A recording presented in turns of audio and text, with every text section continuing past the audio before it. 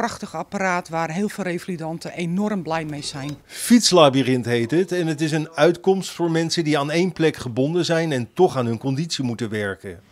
Bij Heliomare hebben ze meerdere van die apparaten staan en patiënten maken er gretig gebruik van. Behalve fysiek namelijk worden ze er ook geestelijk beter van. Als iemand aan het fietsen is, hebben ze ook vaak sociale contacten met andere revalidanten. Omdat ze de, bijvoorbeeld de route door Alkmaar fietsen en de andere patiënt in Alkmaar heeft gewoond.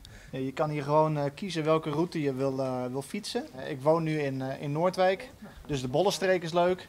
En ik ben nu even in Zandvoort aan het fietsen. Ietwer van der Heijden revalideert in Heliomare sinds hij drie maanden geleden bij een surfongeluk een dwarslesie opliep. Uh, toen ik op de zandbank klapte, toen uh, voelde ik uh, alle kracht uit, uit mijn benen en armen wegzakken. Dat heb ik heel bewust meegemaakt. Ik lag ook met mijn hoofd in het water en gelukkig waren er twee andere surfers bij me. Ik wist wel dat het fout was, maar ik had toen zoiets van het komt nog wel goed. Het komt uiteindelijk ook wel goed, maar nooit meer zoals het was. Mede dankzij de virtuele fietstochten is hij conditioneel op de goede weg.